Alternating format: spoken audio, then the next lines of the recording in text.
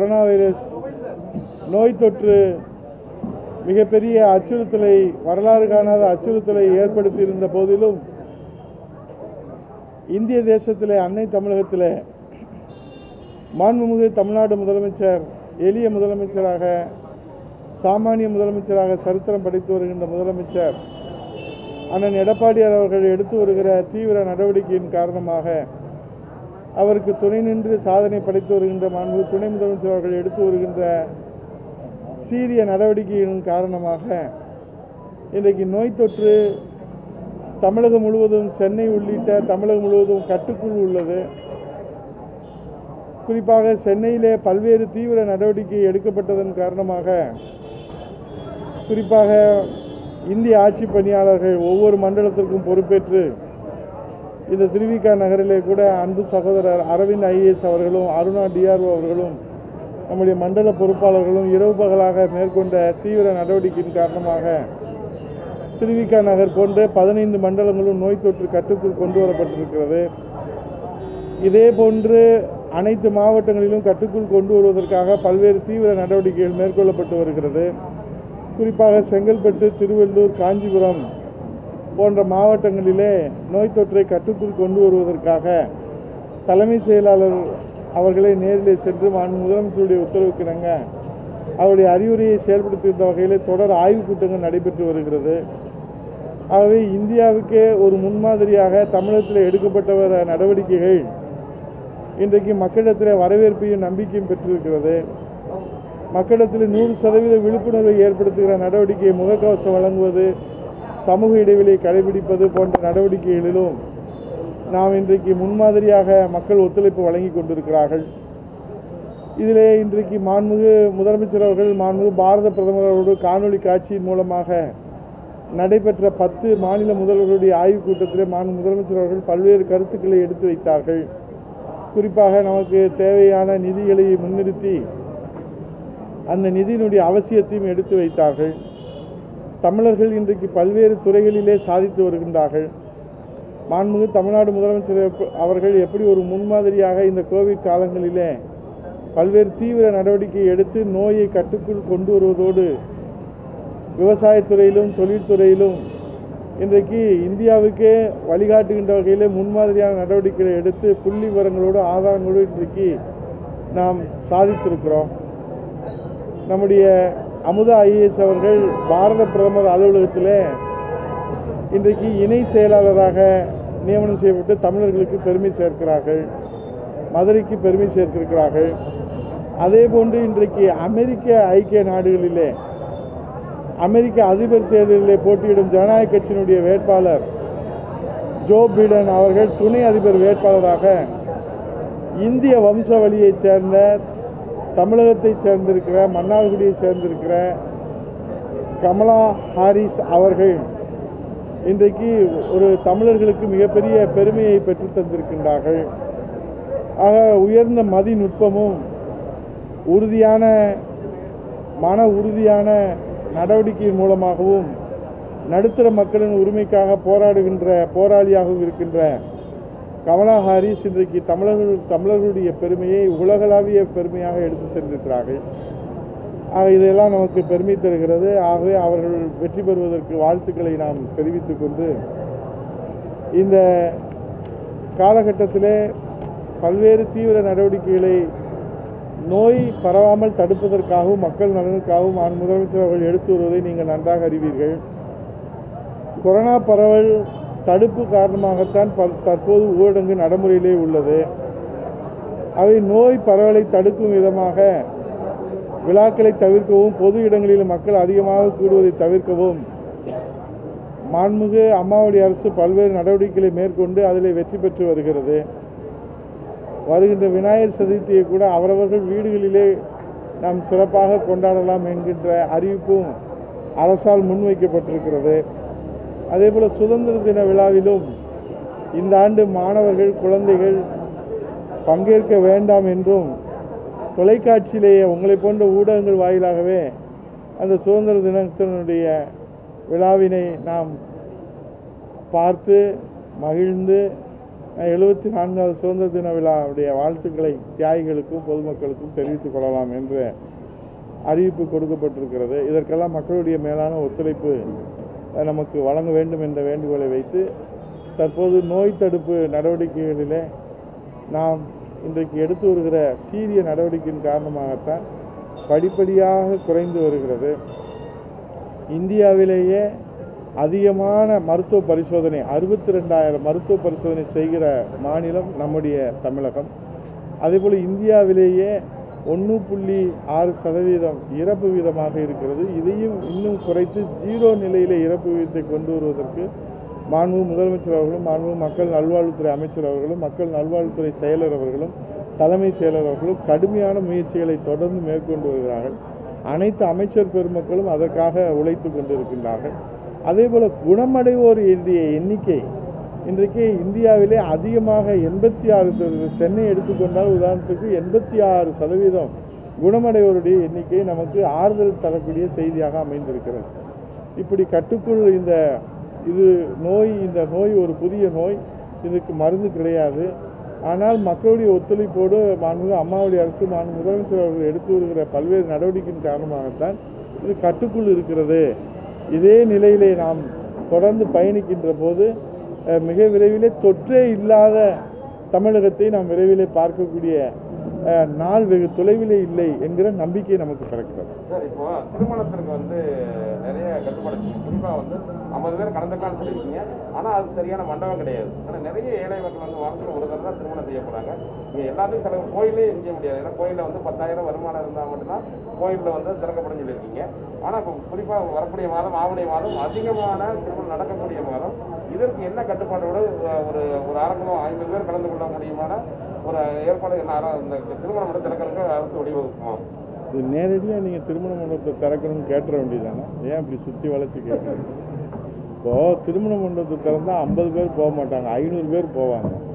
ஐம்பது பேர் ஏன் நம்ம வந்து இருக்கிறோம்னா இந்த பொது விழாக்களிலே நம்ம சமூக இடைவெளியை கடைபிடிப்பது மிகப்பெரிய சேலஞ்சாக இருக்குது. எல்லா இடங்களிலும்.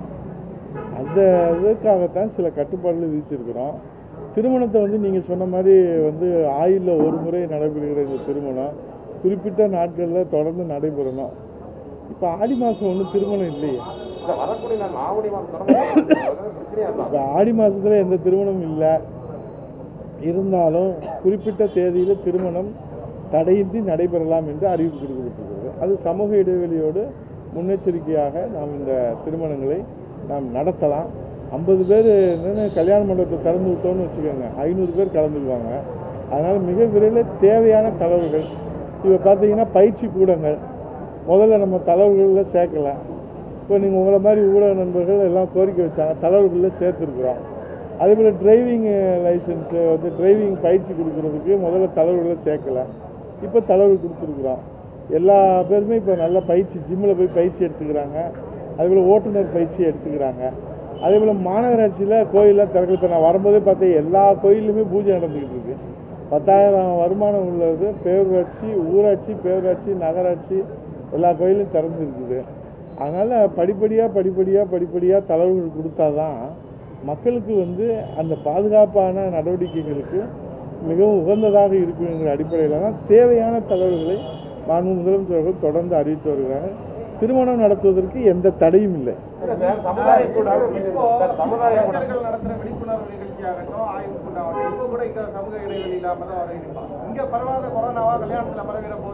அதாவது இப்போ இங்கே வந்து எல்லாருமே நீங்கள் பத்திரிக்கையாளர்கள். சார் அது பத்திரிகையாளர் யார் இவர் பத்திரிக்கையாளர் இல்லையா அன்பழகன்? நம்ம இது வந்து என்னன்னு கேட்டிங்கன்னா நண்பரை அறிவுரைகள் சொல்கிறோம் கடைபிடிக்க வேண்டியது ஒவ்வொரு தனி மனிதனுடைய கடமை. நான் பொறுப்போடு நடந்து கொள்ளணும். அமைச்சர்களுக்கு கடமை இருக்குது. இப்போ சமூக இடைவெளியை வந்து கடைபிடித்து விழிப்புணர்வை ஏற்படுத்தி மக்களை பாதுகாக்க வேண்டிய கடமை இருக்கிறது. அதை முறைப்படுத்தி தான் நம்ம செய்கிறோம் வரும்போதே வந்துடுறாங்க. நம்மளும் சொல்கிறோம் அதில் வந்து கொரோனா த பரவாமல் தடுத்ததுனால தான் மாண்பு முதலமைச்சருடைய வழிகாட்டுதலோடு அமைச்சர் பெருமக்கள் எடுத்த நடவடிக்கை அதிகாரிகள் எடுத்த நடவடிக்கைக்கான தானே சென்னை இன்னைக்கு கட்டுக்குள் வந்திருக்கு.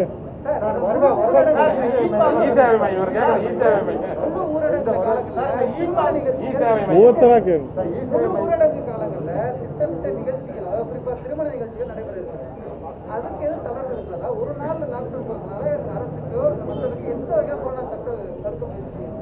எது முழு ஊரடங்கு சொல்றீங்களா? ஞாயிற்றுக்கிழமை ஞாயிற்றுக்கிழமை நிறைய திருமண நிகழ்ச்சிலாம் இருக்கு இல்லை அதான் முழு ஊரடங்கு காலங்களில் எதுக்காக நம்ம அதை கொடுத்துருக்குறோம்னா ஒரு சங்கிலி தொடர் வந்து ஒரு பிரேக் ஏற்படுத்தணும். அது நல்ல பலனை தந்துருக்கு. அன்றைக்கி பார்த்தீங்கன்னா நாங்கள் சுற்றி வர்றோம் நாங்கள் நீங்களும் ஊடகங்களும் சுற்றி வர்றீங்க. மக்கள் தாமாக முன் வந்து மிகப்பெரிய அளவில் வந்து அவங்களுக்கு வந்து ஒத்துழைப்பு தர்றாங்க. இதனால் அந்த சங்கிலி தொடர் வந்து நமக்கு வந்து உடைக்க முடியுது. ஏன்னா இது வந்து ஒருத்தர் இருந்து ஒருத்தர் இருந்து பரவுது அப்படியே. ஒருத்தருக்கு வந்தாலே வந்து எல்லாருமே ஐசோலேஷன் பண்ணணும். அப்படிப்பட்ட ஒரு குணாதிசயம் உள்ள நோய். அதனால அந்த சங்கிலி தொடர் நீண்டு கொண்டு வருகிற சங்கிலி தொடரை நாம் அறுத்து எறிவதற்கு ஒரு நாள் முக்கியத்துவம் வாய்ந்ததாக இப்போ நமக்கு பொது ஊரடங்கு நாம் மாதம் முழுவதும் பிறப்பித்திருந்தாலும் தளர்வுகள் இன்றி முழு ஊரடங்கு ஒரு நாள் பிறப்பிக்கப்படுகிறது. அதில் மக்கள் தாமாக முன் வந்து நல்ல ஒத்துழைப்பு கொடுக்குறாங்க. அதுக்கு நல்ல பலனும் நமக்கு கிடைத்து வருது ஊடக நண்பர்களும் உங்களுக்கு நன்றாக தெரியும். இப்போ ஆடி மாதத்தில் அந்த அந்த விவாதம் வந்து திருமண விவாதம் இப்போ தேவை இருக்காது ஆவணி மாதத்தில் வேணால் நீங்கள் வந்து பா நம்ம வந்து கலந்துக்கிட்டு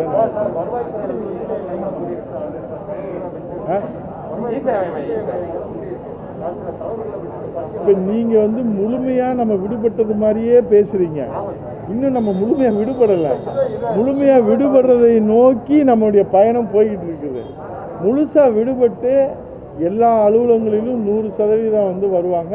இ சேவை மையங்களும் நீங்கள் சொன்ன மாதிரி செயல்படுவதற்கு அறிவுரைகள் கொடுக்கப்பட்டிருக்கு. தொடர்ந்து தொடர்ந்து தென் மாவட்டங்களும் சரிங்க சரி பிரைவேட் ஹாஸ்பிட்டலில் அதிகமான வசூல் செய்யறாங்க அதே மாதிரி அந்த எமர்ஜென்சி கேஸ் எடுக்காம இருக்காங்க.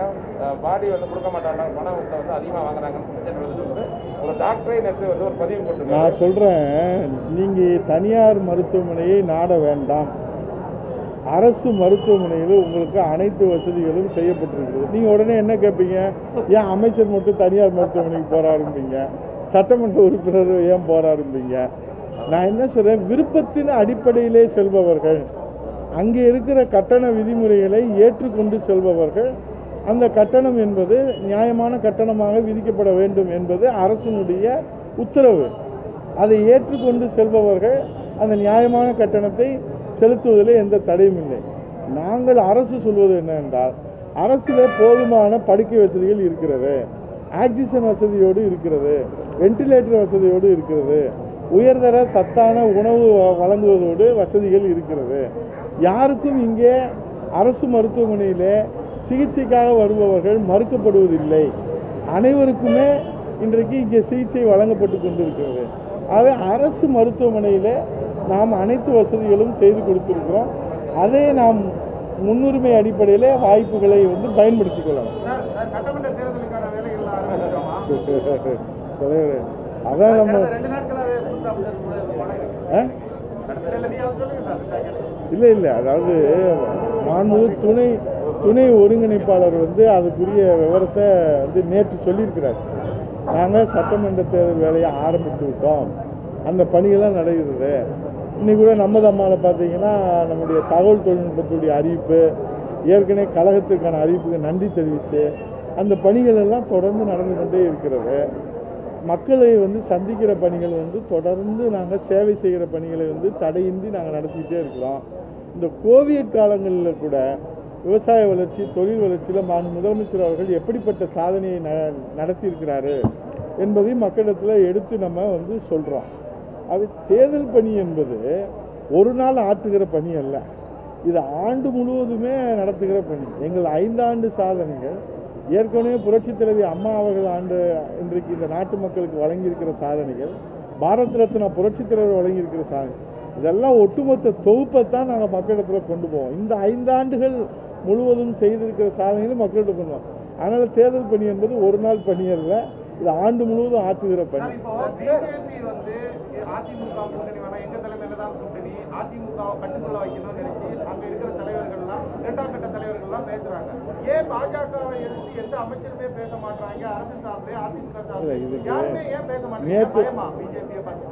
சொல்றாங்க நீங்க-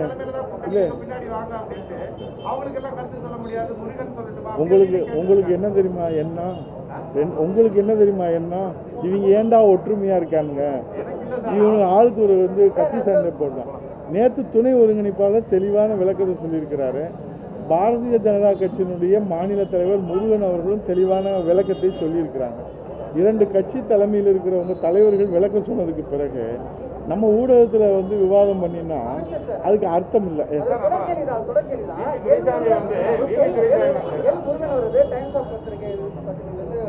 பேட்டி கொடுக்கும்போது என்ன சொல்லியிருக்காருன்னா வரக்கூடிய தேர்தலில் கூட்டணி மாற வாய்ப்பு இருக்கிறது. மாறும் அப்படின்னு சொல்லியிருக்காரு. இந்த நான் உதயகுமார் இல்லை உதயகுமார் வெங்கடேஷ் பாபு விஎஸ் பாபுலாம் தலைமை என்ன வந்து வியூவை வகுத்து கொடுக்குறாங்களோ அந்த வியூகத்தின் அடிப்படையில் செயல்படுவோம். நீங்கள் சொல்கிற மாதிரி அதுக்கு கருத்து சொல்கிற தகுதி வந்து நாங்கள் இன்னும் எங்களுக்கு வரல. அந்த தகுதி எங்களுக்கு கிடையாது. தலைமை சொல்லிக்கிடுவாங்க.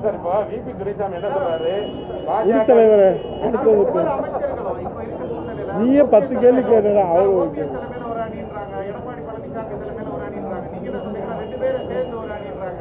ஒரு குழப்பமான ஒரு சூழல் ஆய்வு கூட்டத்தில் கூட ஒரு அமைச்சர் தோஞ்சிட்டு போயிட்டாரு. அப்படின்னு ஒரு செய்தி நீங்க போட்டிருக்கிறீங்க அப்படி. நீங்க அப்படி தினகரன்ல அப்படி போட்டிருக்கிறீங்க. நான் சொல்றேன் தலைவரே ஒற்றுமையோடு இருந்து ஏற்கனவே நாங்கள் உள்ளாட்சி தேர்தலை சந்தித்தோம் நாடாளுமன்ற தேர்தலின் போது நடைபெற்ற மினி பொது தேர்தலில் சந்தித்தோம் மக்கள் இரட்டை இலைக்கு வாக்களித்து அம்மா அரசு தொடரணும். மாண்புகு தமிழ்நாடு முதலமைச்சர் எடப்பாடி அவர்கள் தான் முதலமைச்சர். மாண்புகு தென்பாண்டி சிங்கம் அண்ணன் ஓபிஎஸ் அவர்கள் துணை முதலமைச்சர்.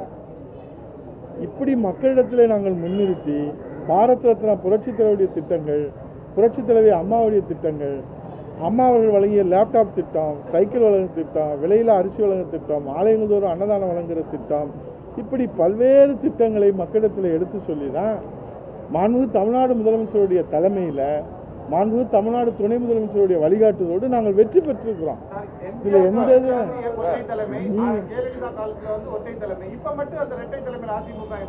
முதலமைச்சர் அதிமுக தொண்டர்கள் தலைவரே தலைவரே எந்த குழப்பமும் இல்லை தலைவரே. ஒன்றரை கோடி தொண்டர்களும் தெளிவாக இருக்காங்க. நீங்கள் தான் ஒரு ஏதாவது குழப்பாம குழப்பாம ஏன்னா இதுக்கு ஒரு உங்களுக்கு நான் ஒரு ரகசியத்தை சொல்கிறேன் உங்களுக்கே தெரியும். இந்த குழப்பம் ஏற்படுத்துவதற்குனே ஒரு வேலையை எதிர்க்கட்சியில் செய்கிறாங்க கடந்த கால அரசியல் நாகரிகத்திலலாம் இப்படி கிடையாது. இப்போ குழப்ப இப்போ இப்போ இந்த இதிலே வந்து பார்த்தீங்கன்னா அந்த பிரதிநிதி இருப்பார் இங்கே. அவர் வந்து என்ன சொல்லுவார்னா ஒரு குழப்பத்தை ஏற்படுத்தி ஒரு பலவீனப்படுத்தி அதை வந்து அரசியலாக்கி அதை வாக்கு வங்கியாக்கி அது மூலயமா அதிகாரத்துக்கு வந்துடலாமா அப்படின்னு நினைக்கிற தரம் தாழ்ந்த அரசியல் இன்றைக்கு எதிர்க்கட்சிகள் கையில் எடுத்து செயல்படுறாங்க. அதுக்கு பேர் ஐபேக்னு கூட சொல்கிறாங்க எனக்கு தெரியல. இப்போ நான் தெளிவாக வந்து எங்கள் மாண்புமிகு துணை ஒருங்கிணைப்பாளர் கே பி முனுசாமி அவர்கள் இதை பேசி இதுக்கு முற்றுப்புள்ளி வச்சுட்டாங்க. ஏன்னா இதுக்கு வந்து மறுபடி விவாதமே தேவையில்லை. பொது வெளியில் ஊடகத்தில் உதயகுமாரும் வெங்கடேஷ் பாபுவும் விஎஸ் பாபுவும் எடுக்கிற முடிவா இது? அனைத்து இந்திய அண்ணா திராவிட முன்னேற்ற கழக ஒன்றரை கோடி தொண்டர்கள் தெளிவாக இருக்காங்க.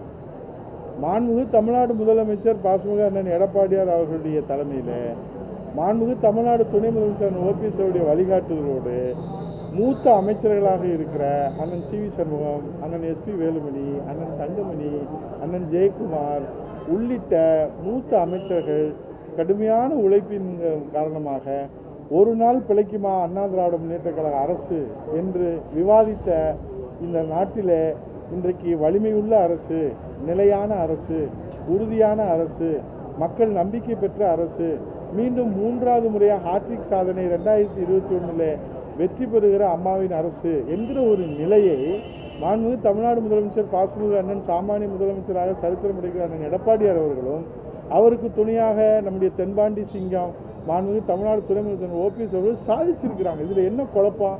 ஒரு குழப்பமும் இல்லை. ஏதாவது குழப்பம் வராதா? ஏதாவது பலவீனப்படாதா? அதில் ஏதாவது வந்து நம்ம அரசியல் செய்யலாமா? ஏன்னா மக்கள்கிட்ட போய் உங்களுடைய எதிர்க்கட்சிகள் சாதனையை சொல்வதற்கு எதுவுமே கையில் இல்லை. இப்போ நாங்கள் சாதனை பட்டியலில் சொல்லுவோம். குடிமராமத்து திட்டம் தந்தவர் மாண்பு தமிழ்நாடு முதலமைச்சர் அவர்கள். எத்தனை ஆண்டு காலம் நிலுவையில் இருந்த காவேரிக்கு தீர்வு கண்டு இன்றைக்கு காவேரி காப்பாளர் என்ற பெயரை பெற்றவர் மாண்பு தமிழ்நாடு முதலமைச்சர் அவர்கள். இன்றைக்கு ஹைட்ரோ கார்பன் போன்ற திட்டங்களுக்கு இன்றைக்கு பல்வேறு வகையில் டெல்டா மாவட்ட மக்களினுடைய அந்த விவசாயிகளுடைய அந்த கனவை நனவாக்கியவர் நம்முடைய மாண்பு முதலமைச்சர் அவர்கள். தூத்துக்குடி மாவட்டத்தில் ஸ்டெர்லைட்டில் நடைபெற்றது. இத்தனை அரசு இருந்தது.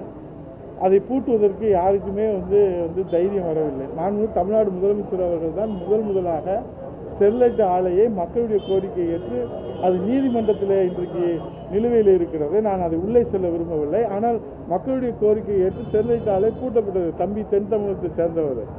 இப்படி நிலுவையிலே நீண்ட காலமாக நிலுவையில் இருந்ததற்கெல்லாம் தீர்வு கண்டவர் மாண்புமிகு தமிழ்நாடு முதலமைச்சர் அவர்கள். அதே போன்று புரட்சித்தலைவர் இதயதேவ அம்மா அவர்கள் கொடுத்த திட்டங்கள் உலகத்திலேயே இன்றைக்கு கணினி யுகம் வரும் என்பதை முன்கூட்டியே தீர்க்க தரிசனமாக செய்து மடிக்கணினியை அறுபத்தி ரெண்டு லட்சம் பேர்களுக்கு கொடுத்த புரட்சி தலைவர் அம்மாவர்கள் இன்னும் வழங்கி கொண்டிருக்கிறோம் விலையில்லாத சைக்கிள் வழங்குகிறோம் விலையில்லாத அரிசி வழங்குகிறோம் இன்றைக்கு மாண்புமிகு தமிழ்நாடு முதலமைச்சர் அவர்கள் எடுத்து வைக்கின்ற அத்தனை திட்டங்களும் விவசாயிடத்திலும் தொழில் முதலீட்டாளர்களிடத்திலும் சாமானிய மக்களிடத்திலும் மிகப்பெரிய வரவேற்பை பெற்று இந்த சாதனை ஒன்று போதும். சட்டம் ஒழுங்கு. இன்றைக்கு இந்தியாவிலேயே தமிழகம் அமைதி பூங்காவாக இருக்கிறது. தடையில்லாத மின்சாரம். இன்றைக்கு இந்தியாவிலே மின்மிகை மாநிலமாக தமிழகம் இருக்கிறது. அதே போல் திராவிட முன்னேற்ற கழக அரசில் எங்கு பார்த்தாலும் நில அபகரிப்பு. நில அபகரிப்புக்கென்றே ஒரு தனியாக ஒரு பிரிவே துவங்கப்பட்டது. எந்த காவல் நிலையங்களை பார்த்தாலும் கட்ட பஞ்சாயத்துகள். எங்கே பார்த்தாலும் அதிகார துஷ்பிரயோகங்கள். எங்கே பார்த்தாலும் ஊழல் தலைவிரித்து ஆடியது. ஆனால் இன்றைக்கு சாமானியர்களாக எளியவர்களாக எல்லோரும் அணுகக்கூடியவர்களாக எல்லோரையும் அரவணைத்து செல்லக்கூடியதாக அம்மாவுடைய அரசும் மாண்பு முதலமைச்சர் அவர்களும் இன்றைக்கு வழிநடத்தும். இது உங்களால பொறுக்க முடியல. எதிர்கட்சினால அட என்னை பேச விடப்பா. நீ சட்டசபையில கூட பேசலாம் போல இருக்கு. உங்ககிட்ட பேசவே முடியல. பேச விட்டா தானே நான் சொல்ல முடியும். இன்றைக்கு இன்றைக்கு வந்து இத்தனை இத்தனை இத்தனை இத்தனை காரணங்களால இன்றைக்கு மக்கள் மத்தியில் மிகப்பெரிய வரவேற்பை பெற்றிருக்கிறோம். இந்த சாதனை தொடரும். பாஜக மட்டும்தான் இப்ப வந்து உங்களை எதிர்த்துட்டு இருக்காங்களா? இப்ப இது நீங்க செயல்படுத்துற திட்டம் இந்த இ பாஸ் விவகாரம் ஆகட்டும் எல்லாத்துக்கும் வந்து அதிமுக சரியா செயல்படல அப்படின்ட்டு அறிக்கை கொடுத்துருக்காங்க தேமுதிகவோட உறவு எப்படி இருக்கு? பாமக எல்லாம் வந்து கூட்டணி தான் இருக்காங்களா? பேசுறாங்களா? தேர்தல்ல தொடருமா கூட்டணி? நீங்க ஐபேக் பிரதிநிதியா சொல்லுங்க சார். தேமுதிகவோட உறவு கூட்டணி தம்பி உதயகுமார் ஆய்வு பண்ணி எப்படி. நீ என்னைய கொண்டு போய் இதுல போய் வந்து மாட்டி விட்டனா என்ன? கூட்டணி உதயகுமார் முடிவு செய்ய முடியுமா? இல்ல, ஒன்றரை கோடி தொண்டர்களும் ஒவ்வொரு கருத்துல வந்து கருத்து சொன்னா அந்த கட்சியுடைய நிலைமை என்ன ஆகும்? அப்படி எப்படி சொல்ல முடியும்? அது சொல்றது நியாயமா மரபா தர்மமா? இல்ல திமுக போய் நீங்க கேளுங்க. இந்த மாதிரி கூட்டணின்னு சொல்லி ஒரு தொண்டர்கிட்ட கேட்டு. நடந்த கூட்டத்துல யாருமே போட்டாங்கல்ல யாரும். எதுவும் பேசக்கூடாதுன்னு ஆமா அப்புறம் நீங்க அங்க மட்டும் இதுன்னா நாங்க என்ன உங்களுக்கு அப்ப பார்த்தா கட்டுப்பாடு கொடுத்தா யாரும் பேசக்கூடாதுன்னு தம்பி எனக்கு பொறுப்பு இருக்கு தம்பி. எனக்கு அக்கௌண்டபிலிட்டி இருக்கு. நான் இந்த கட்சினால இந்த கட்சிக்கு செல்வாக்கு பெற்றுத்தரணும். நான் என்னுடைய பேச்சாலையும் என்னுடைய உழைப்பாலையும் என்னுடைய பணியினாலையும் என்னுடைய ஊடக சந்திப்பினாலையும் வாக்கு வங்கி உயரணும். வாக்கு வங்கி செல்வாக்கு உயரணும். தலைமைக்கு செல்வாக்கு உயரணும். கட்சிக்கு செல்வாக்கு உயரணும். அதுதான் ஒவ்வொருடைய உதயகுமாருடைய கடமை வெங்கடேஷ் பாபுடைய கடமை விஎஸ் பாபுடைய கடமை. இங்க இருக்க கலை நிர்வாகிகள் நீங்க என்ன பண்றீங்க? எப்படியாவது வந்து ஒரு குழப்பத்தை இல்ல நீங்க என்ன நீங்க இல்ல. எதிர்கட்சிகளை சொல்றோம். நான். எதிர்க்கட்சியில இங்க ஆள் அனுப்பிச்சிருப்பாங்கல்ல. இப்போ தம்பி கேட்டாங்க தினகரன் அவர்கள் எல்லாம் ஒன்றா பேசி ஒன்றா முடிவெடுத்து வெளியே போகணும். அப்படி பாராட்டி போடுவாங்களா? போட மாட்டாங்க. இப்போ கூட நாளைக்கு என்ன போடுறாங்கன்னு ஆண்டவனுக்கு தான் தெரியும்.